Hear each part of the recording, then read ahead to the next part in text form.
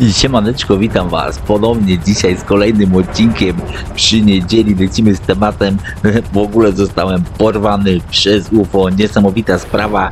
Mordeczki dam wam znać wszystkim tym, którzy nie robili zdjęć tych właśnie statków kosmicznych, statków UFO. Nie ma problemu, ciągle możecie być porwani przez UFO i zdobyć te zajebiste shorty, maski, co tam jeszcze rozdają. Sprawa jest banalnie prosta, musicie udać się gdziekolwiek, gdzie jest jakieś UFO. Ja tu przyleciałem właśnie na molo, bo tutaj wygląda to najfajniej i idziemy tam, gdzie jest UFO, musimy stanąć na dole, rozglądamy się w kółko i jak zobaczymy taką smugę światła dół, jak tutaj teraz właśnie było widać, Musimy podejść tam bliżej i proszę bardzo, ojeja, petarda. Oczywiście witam, pozdrawiam oglądających bublantowskich waziom. Elo! A w następnym odcinku pokażę wam nowy, zajebisty, modowany strój, czarne joggery, zajebista polowa koszulka bez rękawów i może dajcie znać, czy wolicie ajaj bedża, czy wolicie jakiś taki pasek policjanta, żeby tam był na tym stroju również. To byłoby na tyle. Zapraszam na filmiki, które już wkrótce. Elo!